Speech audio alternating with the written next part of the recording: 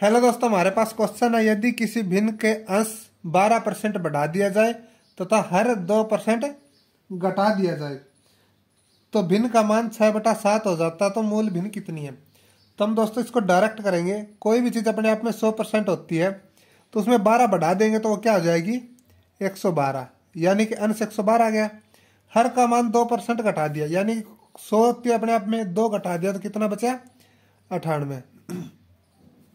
तो इससे जो प्राप्त भिन्न होती है, वो हमारे पास क्या आती है? छह बटे सात। तो मूल भिन्न क्या होगी दोस्तों? इसको सोल्व करने के बाद हमारे पास क्या आ जाएगी?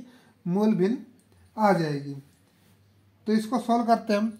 चौदह से अठानवे, चौदह अट्ठे एक सौ बारह।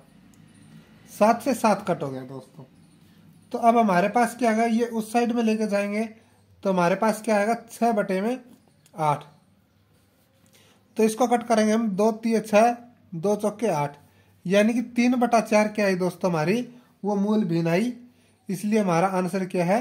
तीन बटा चार, option number B is right. इसी तरह की शॉर्ट ट्रिक वीडियो देखने के लिए चैनल को लाइक, शेयर, सब्सक्राइब करना मत भूलिए ताकि आने वाली वीडियो का नोटिफिकेशन आपको जल्द से जल्द प्राप्त हो सके।